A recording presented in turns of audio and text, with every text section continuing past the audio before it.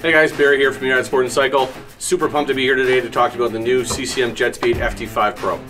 CCM's using a new graphite on their stick this year called Sigma STP. This combined with their nanolite carbon layering system is going to reduce the weight and increase the durability of the stick.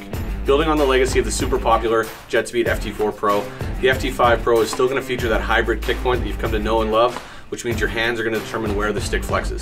So when your hand's placed down lower on the shaft, it's going to force the kick point lower. If you bring your hand placement up, it's going to raise that kick point up with your hand.